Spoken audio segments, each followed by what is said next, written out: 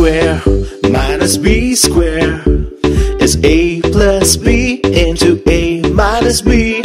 a square minus b square is a plus b into a minus b.